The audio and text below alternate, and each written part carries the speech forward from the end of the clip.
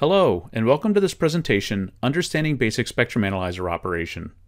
In this short presentation, you'll learn the basic settings needed for making power versus frequency measurements using a spectrum analyzer. Let's begin with a simple question. What do spectrum analyzers do? Spectrum analyzers are frequency domain instruments, that is, they show power versus frequency. This is also the most fundamental measurement on a spectrum analyzer, a plot of power versus frequency. Most spectrum analyzers also automate certain power versus frequency type measurements, like AM modulation depth, third order intercept, etc. These measurements could be done manually, but automating them increases efficiency and accuracy. Other measurements, like occupied bandwidth, adjacent channel leakage ratio, etc., would be difficult or impossible to manually measure. Vector signal demodulation and analysis allow us to look into the structure and content of signals like LTE, 5G, Wi-Fi, etc. In this presentation, however, we're going to limit ourselves to the basic power versus frequency measurements that can be made with any spectrum analyzer, and what you learn in this presentation will apply to just about every make and model of spectrum analyzer. We're going to concentrate on the four essential parameters needed to operate a spectrum analyzer. These four parameters are center and span, reference level, resolution bandwidth, and video bandwidth. These settings are used when making almost any kind of spectrum measurement. The very first question you have to answer when making spectrum measurements is, what frequency range am I interested in? In other words, what are the start and stop frequencies? Let's say we're interested in measuring power between 840 and 860 MHz. We could enter these values into a spectrum analyzer as start and stop frequencies, but most people who use spectrum analyzers on a regular basis enter these values a different way, namely as center and span. The names are fairly self-explanatory. Center is the center frequency in the middle of the display, and span is the width of the display. The range 840 to 860 MHz is the same as a center of 850 MHz and a span of 20 MHz. Most often we know the center frequency of our signal of interest, and using span it's easier to zoom in and zoom out. Just increase or decrease the span. The next step is defining something called the reference level. Reference level is the top edge of our display and represents the maximum expected power at the spectrum analyzer input. In most cases, we adjust our reference level so the highest level of our signal is slightly below this level. We want to avoid setting the level either too low or too high. Setting the reference level too high decreases our dynamic range and our ability to see small changes in amplitude.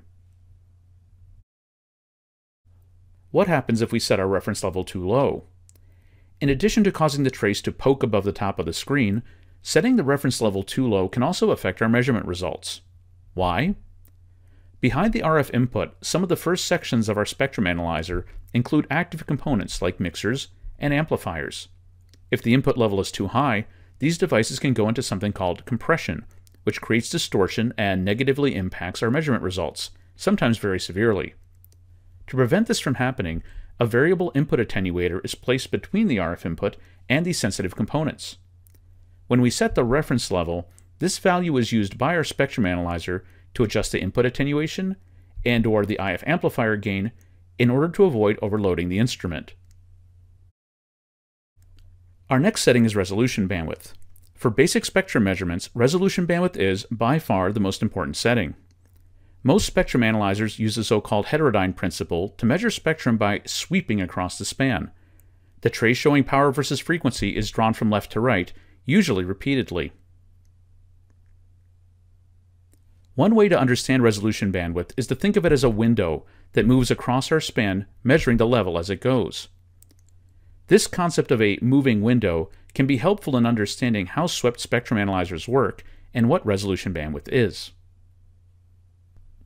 In reality, however, a resolution bandwidth filter or window isn't actually square, but has a Gaussian or similar shape. The window also doesn't move. We slide the spectrum past the window instead of the other way around, in part because it would be extremely difficult to build a tunable filter that could sweep across wide frequency ranges. The end result is the same, and many RF engineers do think of resolution bandwidth as a moving window or filter that sweeps across a span. Next, let's examine two ways that resolution bandwidth plays a critical role in spectrum analysis, namely separating signals and noise. Let's start with signal separation. As the name implies, one of the things that resolution bandwidth affects is our ability to separate or resolve closely spaced signals. For example, if we have two narrow signals, we can only separate them if our resolution bandwidth is smaller than the distance between these two signals. If we were to use a wider resolution bandwidth, both tones are covered by the filter as it sweeps past, and they appear as a single signal in our trace. The other important aspect of resolution bandwidth is the effect that it has on noise. More specifically, resolution bandwidth affects the noise floor, also referred to as the displayed average noise level or DANL. The noise floor rises or falls depending on the chosen resolution bandwidth. Let's look at what happens to the noise floor as we decrease resolution bandwidth. We'll use a simple CW signal and a rather large span of 2 GHz. With a resolution bandwidth of 3 MHz, the average value of the noise floor is approximately minus 73 dBm.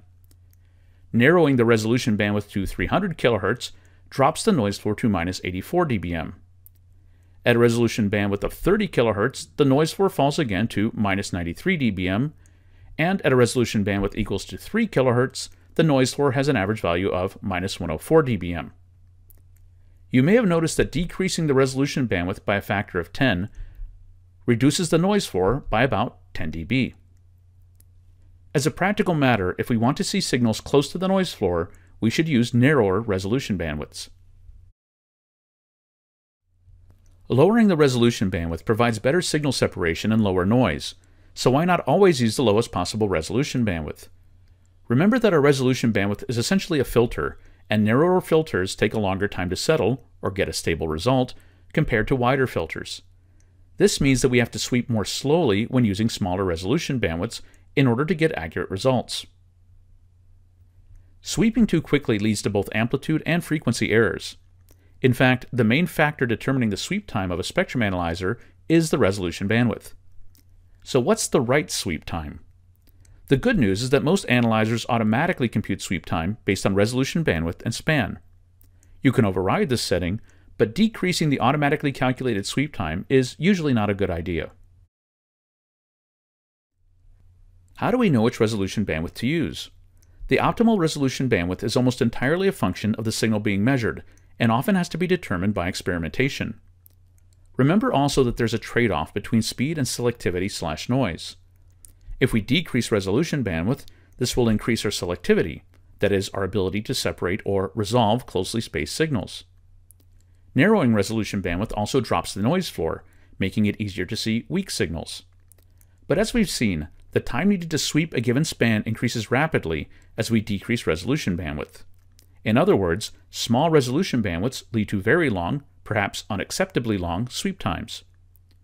One final note. On most spectrum analyzers, you can't choose any arbitrary value for resolution bandwidth, but you have to select it in certain steps. For example, 1 kHz, 3 kHz, 10 kHz, 30 kHz, etc. The last basic parameter is called video bandwidth. In order to better understand video bandwidth, we first need to explain what we mean by a video signal. The traces that we've been looking at in this presentation are essentially an envelope of the power at individual frequencies, and this envelope is called the video signal. Why video?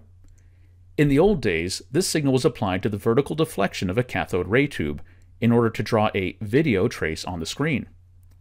In modern spectrum analyzers, video bandwidth is a type of filter used to average or smooth out the display trace. One very important thing to remember is that video bandwidth only affects how the signal is displayed, not the way that it's measured or acquired.